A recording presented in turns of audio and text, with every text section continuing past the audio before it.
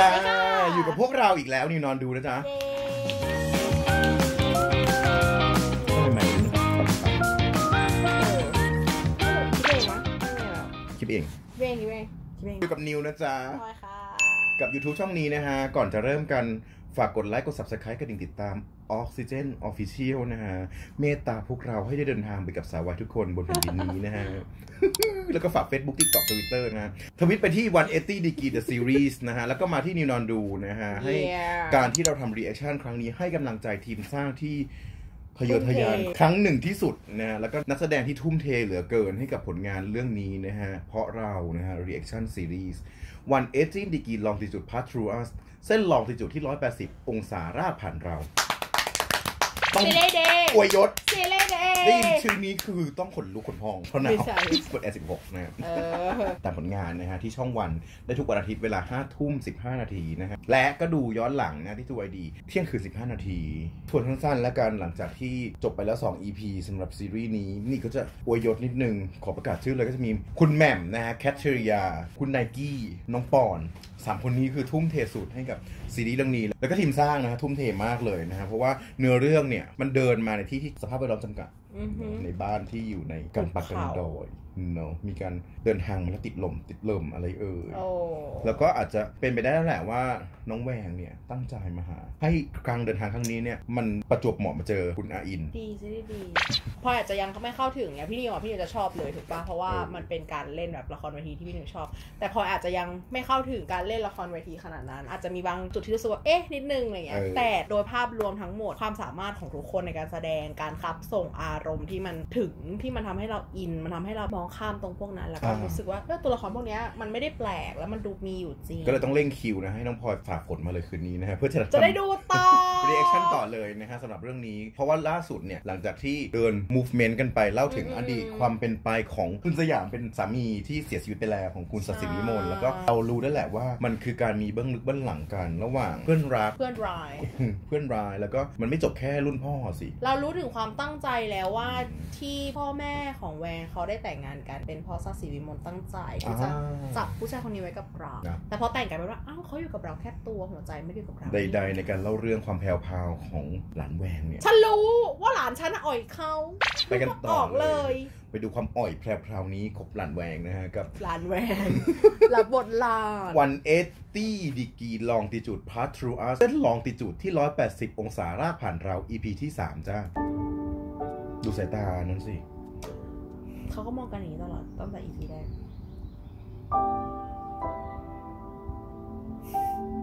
ตื่นเช้าแบบนี้ทุกวันเลยเหรอ ฮะอาอีหลับสบายไหมฮะทำไมหลานฉันดื้ออย่างนั้นล่ะ ที่นี่อากาศดีนะฮะ ไม่ต้องเปิดแอร์เลย เมื่อคืนหนาวไหม ผมชอบ ที่กรุงเทพไม่มีอากาศแบบนี้ แล้ว เฮ้ย คุณสัสิวิมลจะตื่นหรือยังเนี่ย ไม่ต้องห่วงหรอกครับ หลังเก้าโมงไปแล้วถึงจะฟื้นแถมเวลาอาบน้ำแต่งหน้าอีกชั่วโมง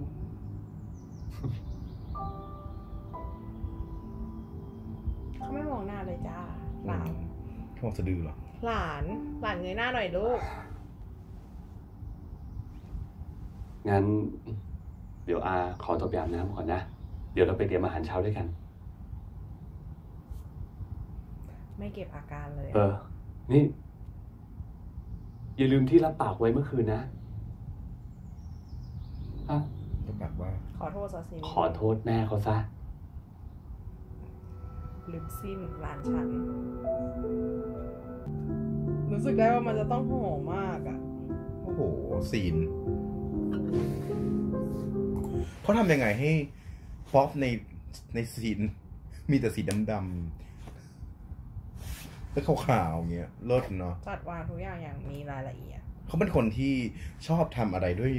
แมนนวลเนาะคุณอาอินทวุฒิเนี่เขายเป็นคนแบบย้อนย้อนอะไรนะย้อนยุคนิดนึงเออเป็นคนชอบความเก่าๆเพราะเขาพูดเองว่าเขาไม่ดูไม่เล่นโซเชียลไม่ดูทีวีอะไรอย่างเงี้ย ในบ้านก็ไม่ได้มีเครื่องใช้ที่แบบเป็นเทคโนโลยีมากมาย เราจะเห็นได้ว่าชาวนี้เนี่ยเขาคุยกับหลานเขาเนี่ย ความใหญ่มันน้อยลงนะมันมีความใกล้ที่ใช้วอลลุ่มหยอดมากขึ้นอืมตอนที่อยู่ที่ระเบียงเขินอะแสดงว่าจากเมื่อคืนนี้แหละ เมื่อคืนก็แค่แบบนนเด็กดื้อต้องโดนอะไรนะเมื่อคืนน่ะ มันไม่มีอะไรหรอกเมื่อคืนอะใช่ไหมมันก็เลยมีความใกล้ไง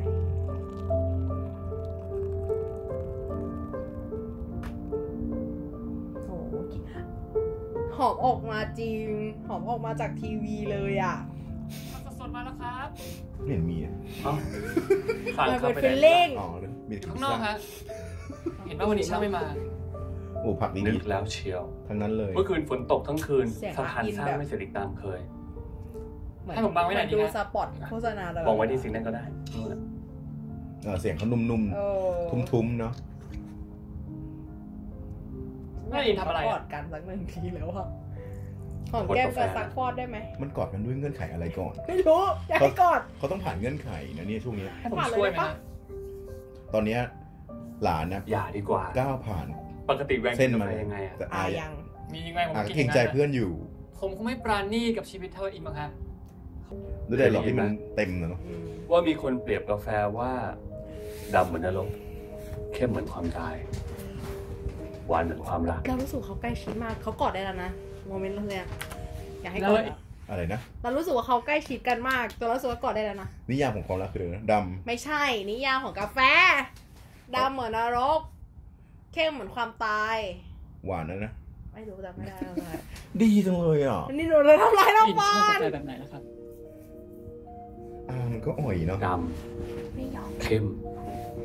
เขาอยากตกนรก อยากกินเด็ก อยากกินลูกเพื่อนไม่อยากรู้ว่านรกและความตายจะหอมขนาดนี้ ลูกหัวเก่าจ้าลูกหัวเก่าจ้าโอ้ชุดอยู่บ้านเนาะเลิศไอเดิมเขางอน ผมรู้รีบบอกเขาสิกี้ดีมากโห เธอมันคือการดูทันไหมแม่เดินขวากล้องแท็กซ้าย ต้องกินข้าวกล้องดอลลี่อิน แล้วก็สองคนนี้เข้ามาจังหวะ เท่ากันเลยอะป๊มากหุยมันแกดีอย่างเงี้ยมันเลิศมากเลยอะอุ๊ยดีดีจังมากเลเลยยอะแล้วแล้วดูครัวเขาสิ มันมีสัญญาหมดเลยอะเขาเตรียมไว้บ้านนี้เขาสร้างใหม่เลยนะเพื่อละครเรื่องนี้ค่าบ้านสิบห้าล้าน ไม่แน่ใช่ทุกการจัดวางอะมันคือการจัดวางอะแล้วนี่คือการจัดไฟนะ เห็นไฟเห็นไฟไหมเห็นแสงไหมที่เขาหน้า ไม่มีแสงนะเนียนฟิตฝากดูแลหลอกแทนพี่ด้วยนะใครพี่จดจับจ้องอย่างอื่นหมดแล้ว ขอโทษเขาหรือยังไม่รู้เลยพูดอะไรก็ว่าหาโอกาสดีกว่าตัวเองเฮ้ย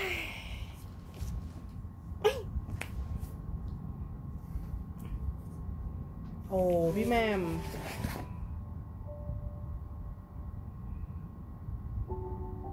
เขาขอโทษโอ้ยยังไม่ว่าอย่าจริงจังตัวเองยกโทษให้เขานะ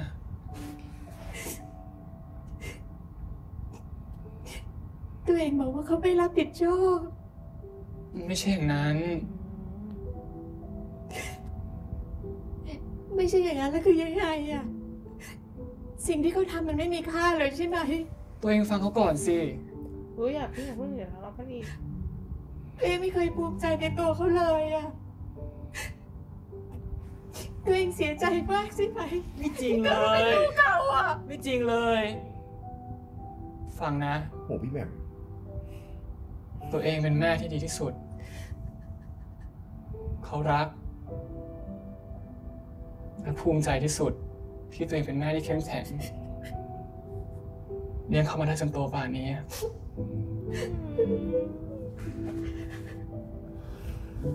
ไม่อยากเอาอะไรออกเลย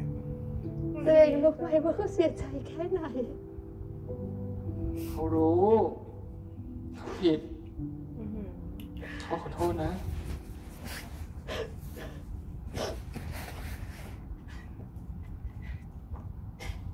ตัวเองภูมิใจในตัวเขาจริง ๆ เหรอ จริงสิ ตัวเองขอโทษให้เขานะ เขาทำทุกอย่างก็เพื่อตัวเองนะ โลกทั้งใบของเขามีตัวเองแค่คนเดียวเขารู้โอ้ยย้ายกล้องอืมเรามีกันสองคนแม่ลูกเท่านั้นนะแวง เขารู้ เขารู้แต่ตัวเองสัญญาแล้วไงว่าจะไม่ขี้แย่เออ บางมุมก็เหมือนรูปวาดนามธรรมตอนแรกนึกว่า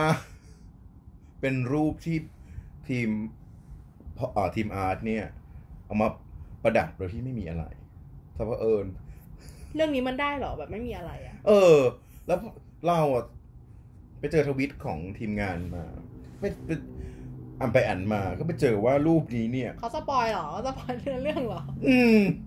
เอาทีมงาน ไม่ได้ spoil สิมันหมายถึงว่ามันมีความหมายแฝงอยู่ในอธิบายในในศิลปะชิ้นนี้นะก็คือเป็นเรื่องราวของอดีต ที่เล่าผ่านซีรีส์วาดสีน้ำเงินผ่านหมึกที่ทำหน้าที่ดั่งสัญลักษณ์ ที่สื่อถึงอารมณ์ของเขา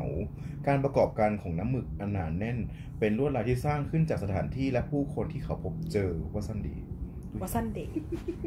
ในช่วงวัยเด็กที่ลุยเซียนาคืออะไรอะ ฟังชื่อเมืองลุยเซียนา อันนี้เป็นไหนว่าเรื่องราวของคนอื่นหรือเปล่าคนคนวาดหรือเปล่าสองคนวาดไง อืม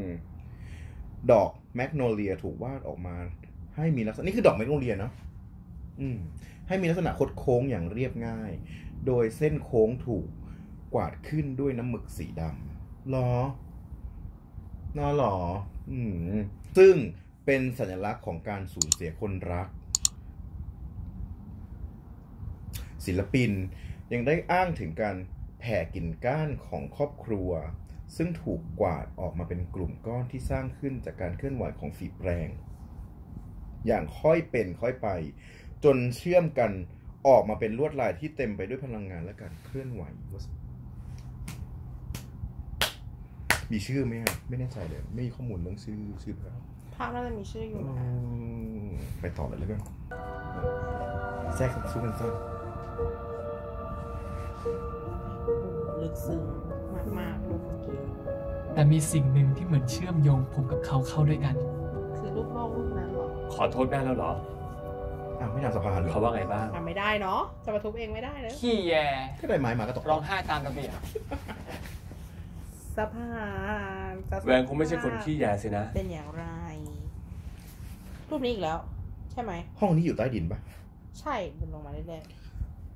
คือถ้าเขาตั้งใจจะ สื่อให้เราเห็นก็น่าจะมีแสงที่ลอดลงมาแบบไอห้องใต้ดินที่เกาหลีอะที่จะมีหน้าต่างอยู่ขอบบนๆข้างบน อ่า แต่วันนั้นเราคุยกันว่าหน้าต่างมันเหมือนเป็นจอมอนิเตอร์หรือคือไม่มีเลยใช่ไหมใช่ไหมเป็นมืดสนิทเลย เพราะว่าตรงเก้าอี้ตรงเนี้ยมันคืออยู่ตรงหน้าต่าง แต่เราคุยกันว่ามันมีวิวข้างนอกได้ไงในเมื่ออันเนี้ยมันเดินลงข้างล่างก็คือเป็นจอถูกปะแบบนั้นคือจะบอกว่าการจัดแสงมันเคลียร์มากและยากและเนียนมากแล้วเธอทำให้เขาเราเข้าใจว่าแสงมาจากข้างบน ตอนเนี้ยด้วยไม้ตอกตะปูเป็นนะ สอนผมสิฮะ มันแปลว่าเลื่อยใช่ไหมที่พูดเนี่ยหึโอ้โหลูกเขาชื่ออะไรนะที่ลุงสั่งคำพูดก็ถูกไอ้ทวุฒิเลือกสร้างสะพานแทนที่จะล้อมกำแพงก็ดีแล้ว แปลว่าอะไรสร้างสะพานแทนที่จะล้อมกำแพง แต่ผมก็ไม่รู้เหมือนกันนะก็เป็นนัยยะว่าถ้าสร้างเสร็จแล้ว เปิดโอกาสนี้เหรอไอจะเดินข้ามไปฟากนู้นบ้างหรือเปล่า หรือแค่ให้ชาวบ้านฝั่งโน้นเดินข้ามมาก็หมายถึงตัวเองใช่ไหมใช่มันแฝงไปหมดเลยเนอะคำพูดคำจาใช่แต่หรอกฉันบอกแล้วดูเรื่องเนี้ยมันไอไม่เป็มีนอะคไรนปราณีกับทุกสิ่งทุกอย่าง ไม่ว่าจะการชงกาแฟ การทำอาหารเช้านั่นคือท่าคอของหลานมันลงไหมนะและแน่นอน โอ้ยนิวแม้แต่สะพานข้ามลำธารเล็กๆ ที่ผมไม่เห็นว่าต้องคิดมากอะไร แต่อาอิงก็ไม่เสี่ยงอ๋อพังเขาจะผมรู้ทำสึกฐานว่าผให้มมันเป็นแบบคนใจร้อนและไม่รอบคอบเอาซะเลยเรียกไม่ถูกเลยสั่งถ้าเทียบกับอาอิงคืออาอีเป็นคนแบบทุกอย่างต้องแบบเป๊ะระเบียบแบบแผนวางแผนในขณะที่หลานฉันก็คือทำเลยโอ้โหเขายังเป็นเด็กไงโอ้โหเหมือนจะเสร็จวันนี้ได้เท่านี้ก่อนก็พอ ไม่ทำให้เสร็จเลยล่ะฮะ เดี๋ยวคุณสถีพลกลับมาเห็นว่าใช้งานลูกชายจะไปนเรื่องเอาละสิอาอินไม่เคยข้ามไปฝั่งโน้นจริงๆแล้วฮะ ก็เคยขับไปทางถนนปกติไงไม่สิ ผมหมายถึงข้ามลำธารไป ทำไมต้องข้ามไปทางนั้นอืมจะได้รู้ว่าชาวบ้านเขาลำบากยังไง พูดทำไม ถ้าวัดจากคนที่เคยชินกับการใช้รถ การข้ามลำธารและเดินเท้าก็คงลำบาก แต่สำหรับคนที่เกิดและเติบโตที่นั่น การให้เดินอ้อมไปบนถนนปกติซึ่งไกลกว่ามาก น่าจะลำบากกว่า ไม่งั้นเขาก็ไม่ข้ามมาทางนี้ ก็มีความหมายอีกใช่ไหมเราต้องไม่คิดแทนคนอื่นด้วยกรอบของตัวเอง อืมในเมื่อเขาข้ามมาทางนี้ เราย่อมรู้แล้วว่าความต้องการที่แท้จริงของเขาคืออะไร เขาต้องการสะพานเพื่อที่จะข้ามมาแน่ๆ แต่เขาอาจจะไม่ได้อยากให้เราข้ามไป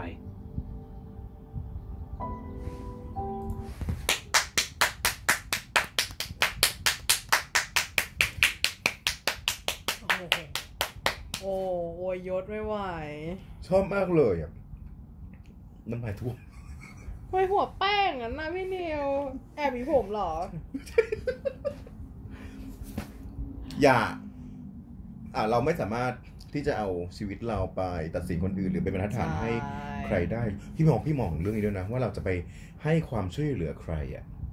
ก็ต้องดูว่าเขาต้องการอะไรจริงเออๆให้ของที่ถูกต้องกับสิ่งที่เขาจะได้ไปหรือว่าเขาได้ไปแล้วมันจะทำลายเขาหรือเปล่าด้วใชย่โอ้โหแล้วใดๆก็คือ เรามีเขามีคัดไหมอะตอนถ่ายอะมันดูเรื่อยมันดูยาวเนาะมันดูแบบว่าลองเทกอะแต่พี่อะคิดว่าคัดนั่นแหละ แต่ใดๆ คือสมมันสมองแรมความจำของสองคนและคุณแหม่มเยอะเหลือเกินที่จะจำคำแปลกเออบทมันไม่ได้แบบไม่ได้ง่ายเลยนะๆกินข้าวยังไปไหนต่อมันไม่ใช่อย่างนี้ใช่อันนี้คือแบบบทมันประหลาดอันจริงบทมันประหลาปดระหลาดประหลาดในความเป็นจริง แล้วคำแปลกแล้วจำได้ยังไงเก่ง แล้วแววตาก็อย่าก็ต้องผิดไม่ได้ก็ต้องเล่าไปตามอืมคำพูดคำ ที่สื่อสารอยู่ด้วยว่าอินรู้ได้ยังไงว่าเขาไม่ได้อยากให้อินข้ามไป คิดแทนคนอื่นด้วยกรอบของตัวเองไม่ดีนะฮะเด็กนี่มันแสบสันเว้ยไอ้อินไม่ชอบเสียงกับทุกเรื่องใช่ไหมครับจุบสักทีได้ไหมอะอยากให้เราจุบกัน ก็ไม่เชิยังงไม่มาเนาะยังไม่มาเขาต้องเป็นชูรักนะอาจจะแก่พอถ้าจุบกันน่ะที่รู้ว่าอะไรควรเสียงไม่ควรเสียงผมไม่อยากแก่ไปแล้วเสียใจที่ไม่ได้เสียง ฉันรู้สึกว่าตัวละครมันใกล้กันมากอะอืมก็เลยรู้สึกอยากเห็นเขาจับกันจริงๆไม่อยากแก่ไปแล้วเด็กรุ่นหลังมันตั้งคำถามว่าเรามัวแต่ทำอะไรอยู่ เขาหมายถึงตัวอาอ๋อโอเคนึกว่าหมายถึงเขาพยายามกระตุ้นอาอยู่อาอินตัวเริ่มหมดเลย โอ้วจับแล้วนี่ไงความคาดหวังของฉันน่า เลือกอะไร เลือกอะไรตรงนั้นก่อนกินไอติมเหรไปออาบน้ำที่ลำธารกันไหมฮะทำ ไมต้องหาหนักที่ลำธารเชิญเถอะตามสบาย บ้านฉันมีห้องน้ำก็ไม่เอใช่ อแวงอย่าไปนานนักล่ะ เดี๋ยวแม่กลับมาไม่เจอจะอดเซอร์ไพรส์ไม่เอาอะไรกลับมามีปะใครกันแน่ที่ควรเซอร์ไพรส์โอ้ my god ต้องเคยอีกผมเปลี่ยนว่าไม่มีอะไรเซอร์ไพรส์เท่าเราได้มาเจอกันแล้วล่ะครับ เนี่ยอืม ดูแฟร์สีน้ำเงินเลยเขียนเส้นของกลางวันโอ้โหคนให้เลยแบบเรามีเพียงตะวันส่องแสงนานเห็นแฟร์สีน้ำเงินเรื่ไหมอยไปเห็นเห็นทำไมแววตาอาเป็นแบบนั้นวะเอะไรอะเลิศว่ะว้าวมือคนนั้นอยู่ในนั้นไม่ไม่ปวดขาเลยอายุยี่สิบใครเก็บกระดาษตรงนั้นสายชม ว้าววิแล้วทำเค้กเป็นรูปโลกด้วยปกติเค้กต้องสั่งสามวันแม่เอาเลยวันนี้ต้องได้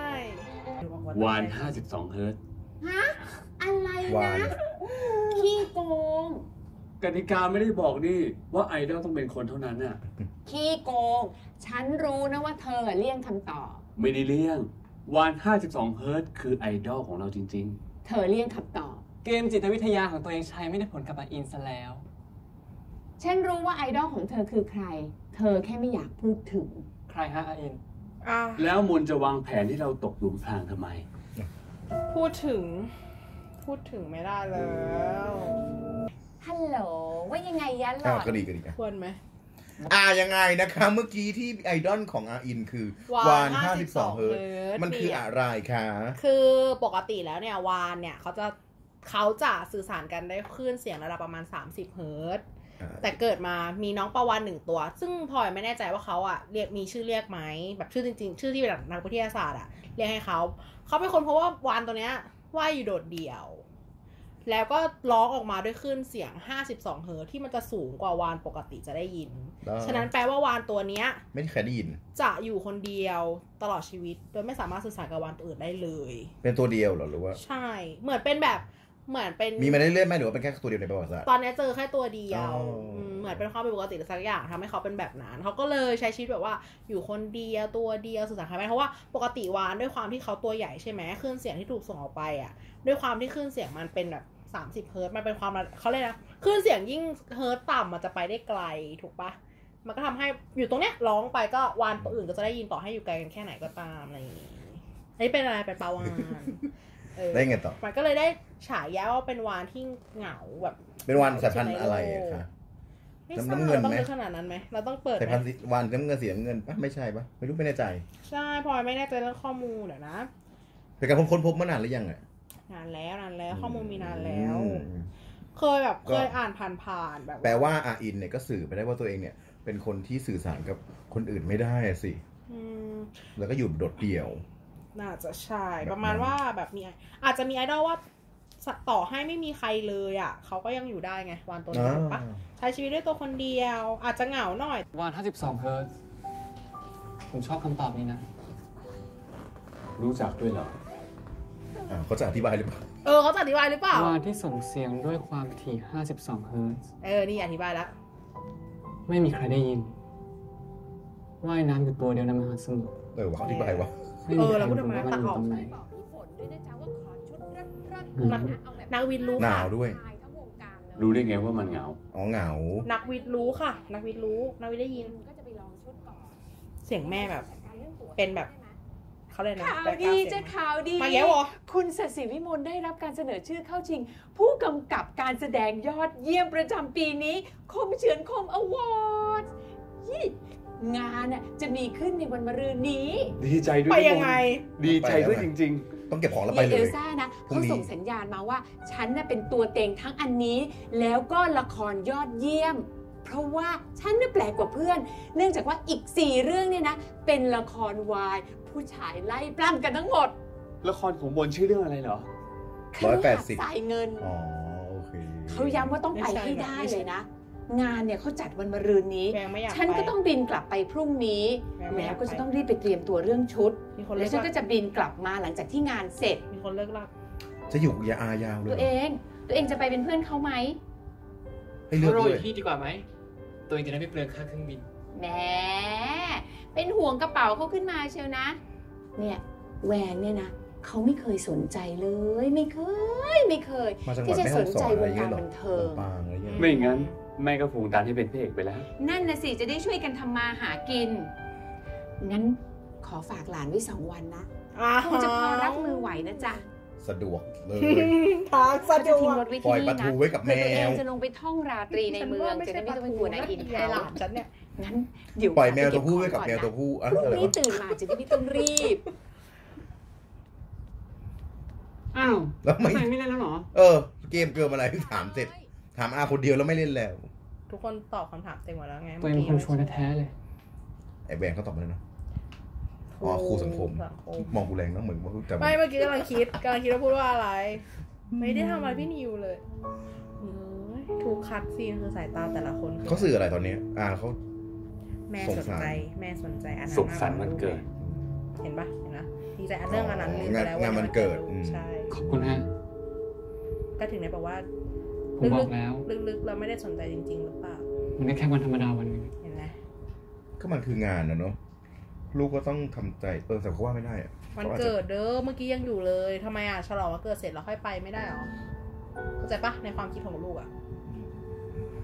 ไม่ได้ไปไหนนี่คืนนี้ก็อยู่ด้วยกันก่อนจะบินเลยเหรอแม่ตอนนี้เลย เดี๋ยวเตรียมของไงคุณจะได้ไม่รีบ กระเป๋าก็ไม่ได้เยอะเตรียมเลยอุ๊เอาจะเลยทัชเด็กก็กลับมาจะเก็บกระเป๋าทำไมสกินชีพคำถามทัชชิ่งเพื่อความเขาจับกันเรารู้สึกเขาใกล้แล้วเขาควรจะจับอะไรกันสักอย่างได้แล้วไหล จับมือจับมือไหล่ปอบกันใช้คำว่าอะไรสักอย่างไม่ได้ก็หรอ กับตอนนี้ขอโทษเขาอยากให้จับกันอย่างนี้ไหลเข่าแขนมือนิ้วมือนิ้วก้อยเกี่ยวกัน คุณกสิวิมลซื้อสร้อยนี่ผมเพราะอะไร ไอ้รู้ไหมครับฉันไม่เห็นไซส์ใกล้ๆเลยเพราะอะไรล่ะมันเหมือนแหวนอะเพราะอิจฉาพ่ออิจฉาเขาอยากให้ผมมีเขาติดตัวไปไหนด้วยเสมอ อย่างที่ผมมีพ่อ มองเขาในแง่ร้ายเกินไปหรือเปล่า แม่เขารักแววมากนะ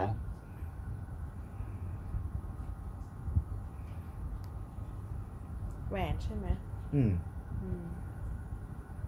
ทำไมไออินถึงมีวาน52เฮิร์ตไอดอล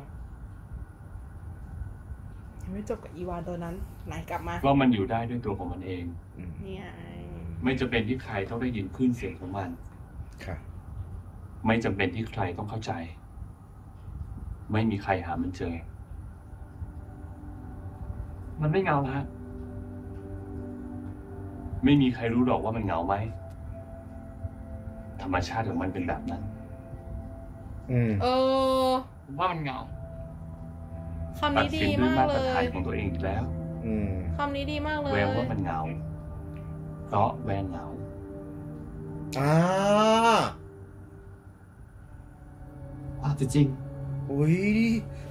แสดงออกเลยว่าไม่อุ๊มียใครทัดใจน้องแหวงได้ดีจังเลยอะพลอยชอบคำนี้จังเลยอะเมื่อกี้ที่บอกว่า ไม่มีใครรู้หรอกว่ามันเหงาหรือไม่เหงาอ่า แต่อันเนี้ยมันคือธรรมชาติของมันอ่าที่เราคุยกันว่ามันผิดปกติเนาะอ่าไม่เหมือนเพื่อนมันนี่แต่เขาใช้คำว่าธรรมชาติของมัน คือมันเกิดมาก็ไม่เคยมีใครได้ยินมันเลยใช่มันเป็นระบบตื่นของเขาไง เราไปตัดสินในคิดว่า เราเป็นคนเราเป็นมนุษย์เราพูดกันอย่างนี้ออเราไปตัดสินว่าคนที่พูดแล้วคนอื่นไม่ได้ยินอะก็เหงาผิดปกติเออไม่เหมือนกันเฮ้ยอะไรในขณะที่เขาอาจจะไม่รู้สึกอะไรก็ได้เพราะว่าเอาสิ่งแวดล้อมตัวเองไปตัดสินก็ไม่ค่ะเคยมีใครได้ยินฉันอยู่เอแล้วอยังไงอะไรอย่างเงี้ยเออมันดีจังวะ ในนี้มันเลิศเห็นไหมแล้วยิ่งชัดเจนในความรู้สึกของแวงว่า แม่กับลูกเนี่ย ไม่เคย ไม่เคยแบบว่าสื่อถึงกันจริง ๆ เลยอ่าทำเพราะหน้าที่อืมหลายครั้ง แม่อาจจะที่ผ่านมา เราไม่อยากมองตัวละครแม่เลวร้ายขนาดนั้อืนมก็อาจจะแค่ เอ่อก็ค่อนข้างจะให้ความสำคัญกับงาน เออ ความสำคัญของงานมากเกินไปจนแบบ จนหลงลืม เพราะว่าลูกก็ยังอยู่ใกล้ๆเขาไงถูกปะอืม อาจจะเป็นอย่างนั้นอะไรเงี้ย แต่แวงอะก็คือรู้สึกไปแล้วว่าตัวเองไม่ได้สำคัญเท่ากับงานที่เขาทำใดๆคือพี่ชอบอีพีนี้มาก เพราะว่าจังหวะ เล่นใหญ่เขาไม่ไม่ได้ใช้แหละอืมเขาหยอดเบาเบาลงเยอะเขาหยอดทางกลางไปทางล่าง แล้ว พอหยิกกลางกับล่างมันลึกจังเลยอะมันดีจังเลยอะสัมผัสได้ถึงความเหงาที่ออกมาจากเสียงของน้องแวงเลยอะชอบความแบบพอ เมื่อกี้แม่อยู่แล้วแววตาเป็นอย่างหนึ่งพอพอบอกแม่ออกไปแล้วนะคัดออกไปอะแล้วแววตาของน้องก็แบบเปเนาะลี่ยนเปลี่ยนเลยอะเล่นเก่งมากเลยอะจริงเราจับไม่ได้เลยว่ามันคัดตอนไหนเพราะมันเนียนไปหมดเลยอะเคลื่อนกล้องตอนไหนยังไม่รู้สึกเลย ดีจังเลยอะ รู้สึกไปทับกับตอนนี้รู้แบบอยากให้มีสักแปดล้าน EP มีไปเรื่อยเขาจะเอาเงินที่ไหนทำถ้าทุกคนยังแกะยังไม่แกะตายเนาะ ๆมันดีจังวังอย่างงี้ยเนอะใช่ปะแล้วน้องแบบใส่ใจแบบ ก่อนจะพูดอะไรอะดวงตามมาก่อน คิดล่วงหน้า แล้วก็อยู่กับอารมณ์นั้นก่อนจะพูด ดีจริงผมเหงาๆอืมดูสิเรารู้สึกความเหงาจริงๆยอมรับแล้วไม่ว่าผิดหรอกเพราะเราเป็นมนุษย์จริงไหม ไม่ใช่วาฬห้าสิบสองเฮิร์ตซ์อะพูดกับมึงเลยไอ้อินฮะพี่ทำไมต้องเลี่ยงคำตอบด้วยฮะ ใครคือคนที่แม่พูดถึง ใครคือไอดอลของอาอิน โอ้ยดนตรีตึงพี่สยามไง อาคิดว่าอากำลังส่งคลื่นความถี่ 52 เฮิร์ตซ์ถึงวาฬนั่น แล้วไม่มีใครได้ยิน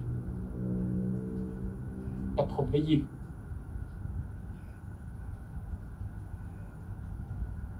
พ่อใช่ไหมครับ ว่ามันรู้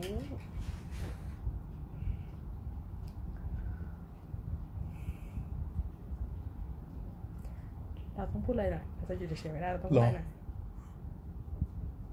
พอเราเราเราได้รับพลังจากจากน้องแวงแบบ ใช่เยอะมากอะใช่เอาเลย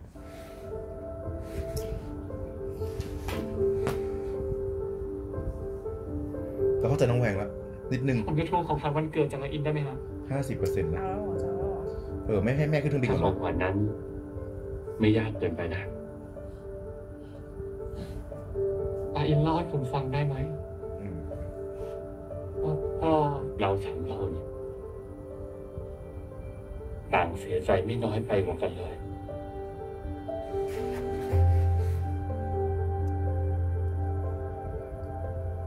ไม่มีใครเสียใจน้อยไปกว่ากัน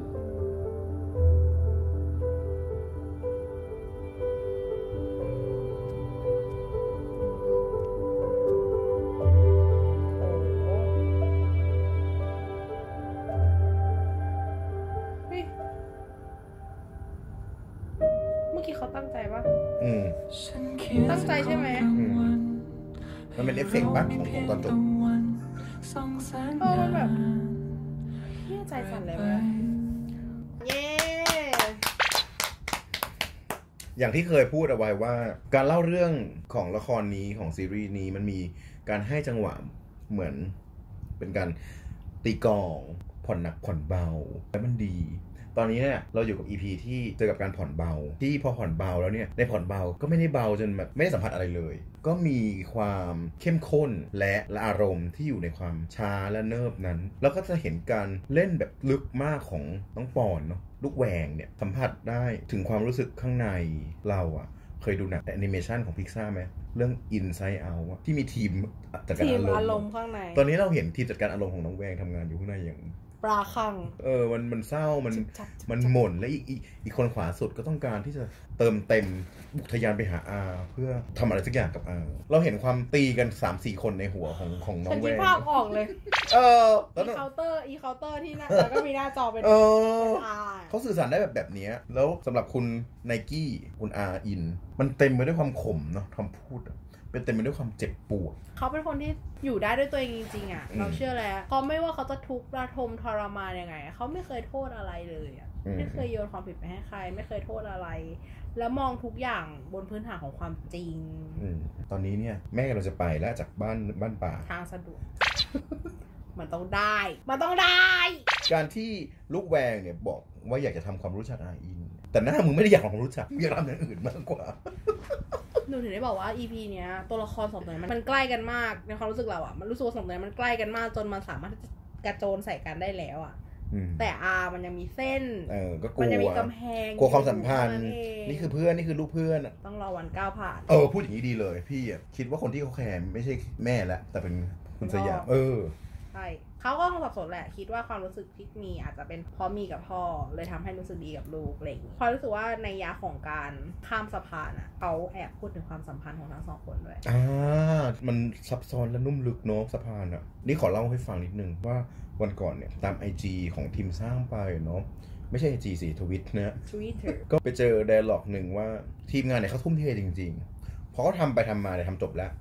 PR เนี่ยต้องใช้เงินเยอะเนาะ ทำการโฆษณาเนี่ยเนาะทำการประชาสัมพันธ์เนี่ยเงินหมด เงินไม่มีทำการ PR ว่ะก็เลยเกิดเหตุการณ์ที่ว่าคุณแคทเธอรียาเนี่ยแม่แหม่มเนี่ยเดินมาหาคุณต้นว่าไม่ต้องจ่ายค่าตัวพี่นะ พี่ชอบมาก พี่มีความสุขมาก ที่อยู่ตรงนี้ทำสิ่งนี้ แต่เขาทำทั้งแสดงทั้งกำกับใช่ปะ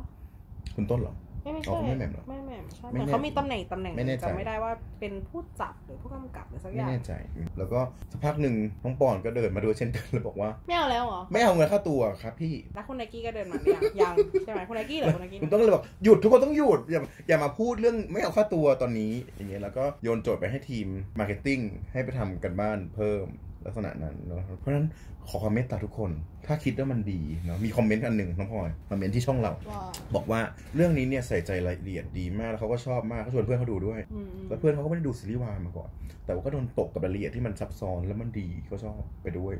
ก็เลยอยากจะให้คิดถ้าเรื่องนี้มันดีนะฮะช่วยส่งต่อเนาะช่วยแชร์เชิญชวนเพื่อนเนอะไปทำให้ผลงานที่มันดีเหลือเกินครั้งนี้นะเป็น ที่รู้จักแล้วก็เผยแพร่ออกไปนะเพราะตอนนี้ on air มาแล้ว4 EP เนาะเราก็จะทำตามให้ครบนะฮะแล้วก็ช่วยที่จะพูดเรื่องนี้ซ้ำๆนะฮะว่าดีเหลือเกินนะฮะกับช่องนี้ด้วย New None Doo นะฮะก็จะตามเรามาทำ react เนี่ยถึงก็ต้องตามน้องพลอยมาด่วนเพราะอยากจะทำให้เป็นปัจๆจุอบัยานกดูเพราะว่าอยากจะให้กำลังใจทีมผู้สร้างว่ามันดีเหลือเกินนะเพราะว่าพูดมากไปหน่อยบางทีอะก็ขออภัยไม่โกรธเราเลยรู้สึกจริง ๆ นะฮะตอนที่ไม่เขาโกรธนำเสนอเราเลยมาผ่านจอนะก่อนจะจากกัน ถ้าเมตตาพวกเราก็ฝากกดไลค์กด subscribe กันติดตาม YouTube ช่องนี้นะ Oxygen Official นะฮะแล้วก็ฝาก Facebook TikTok Twitter นะฮะทวิตไปที่ 180 Degree Series นะฮะสำคัญจริงๆ ให้กำลังใจทีมผู้สร้างนะ แล้วก็มาที่ New Non ดูนะฮะให้คลิปนี้ได้เดินทาง แล้วก็ไปดูได้ที่ True ID และอย่างที่บอกเนอะแล้วก็รอดูที่ช่องวัน31นะฮะแล้วเจอกันใหม่กับ New Non ดู สวัสดีฮะ ได้สวัสดีค่ะบายฮะบ๊ายบาย